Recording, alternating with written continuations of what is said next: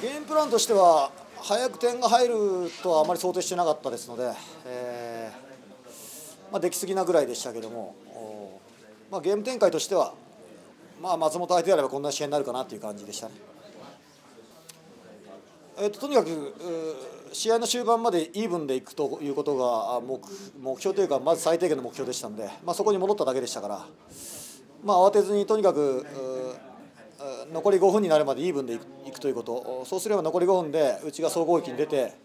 まあ、チャンスは作れるだろうということでしたので、まあ、そこに頭を揃えるということですね。がっかりした面が多少ありましたので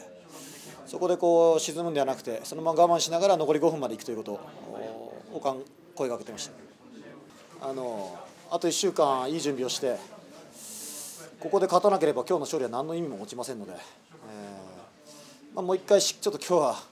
疲れましたんで休んで、えー、また緊張感ある1週間疲れましたけど疲れますけども、まあ、頑張ります。